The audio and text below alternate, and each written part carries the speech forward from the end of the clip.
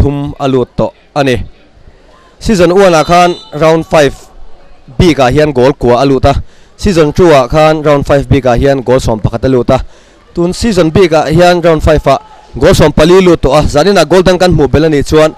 Season danga goal lu chu khum siang don le a. He hian Aizol FC corner. Goal an nei ngal thlat mai. Corner changa ball lo kala. Minute juk na kan mang tan chia tia.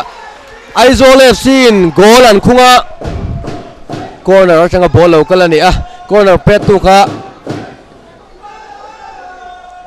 roaming thanga ani corner ni a. A goal le thlat mai.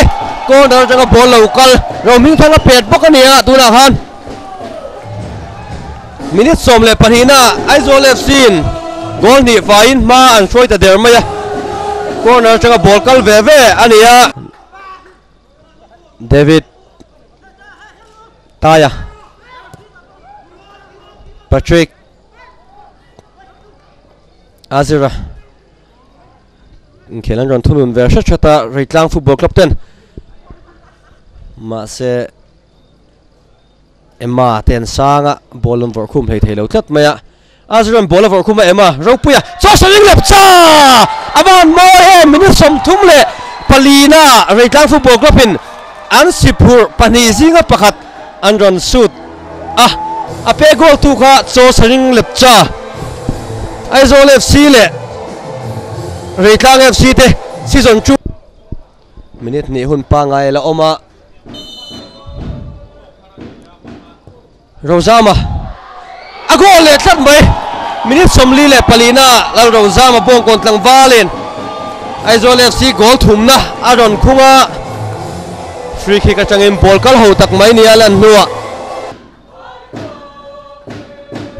David Azira. Ball control, a lo tak me ro romian ball ruk saka.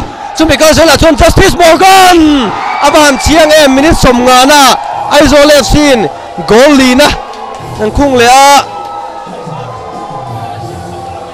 Justice Morgan aron in à, lar ve ta.